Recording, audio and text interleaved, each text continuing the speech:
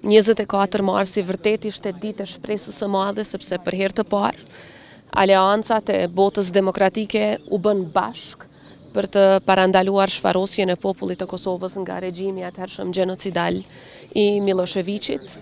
dhe së bashku me shumë e shumë shtete të tjera partnere, arritëm që Kosova më në fund të bëhet e lirë. dhe atë ditë të çlirimit ne edhe do ta shënojmë me 12 qershor të këtij viti, meqenëse është edhe përvjetor jubilar, pra 25 vjetori. Kjo ditë e shpresës së madhe u shndërrua në një partneritet të pafuqishëm dhe të palëkundur ndërmjet Kosovës dhe botës demokratike, aleanca që edhe sot vazhdojnë, prandaj edhe sot jam shoqëruar nga ambasadorët dhe përfaqësuesit e shteteve mike, shteteve që qëndruan pranë Kosovës,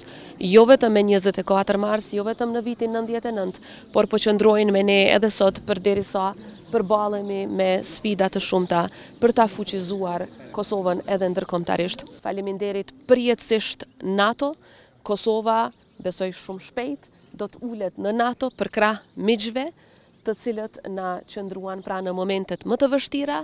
dhe do ta kthejë këtë borxh duke ndihmuar në vende të tjera siç po ndihmon edhe sot ushtria jonë